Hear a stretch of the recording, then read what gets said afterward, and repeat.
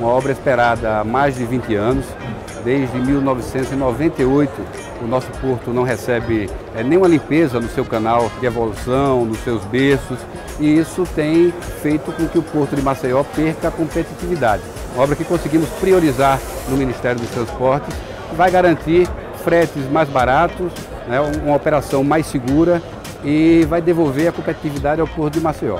Com isso nós vamos ter mais cargas sendo movimentadas. A princípio, a expectativa é de um aumento né, de 30% do que é movimentado hoje aqui em Maceió e vamos recuperar também né, os cruzeiros marítimos.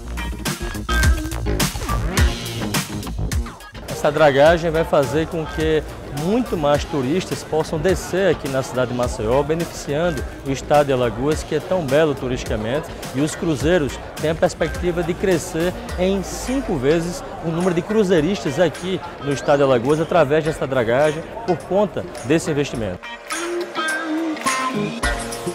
É uma obra com impacto social e econômico muito grande para Alagoas. Eu estou muito feliz né, por é, estar podendo hoje garantir essa ordem de serviço.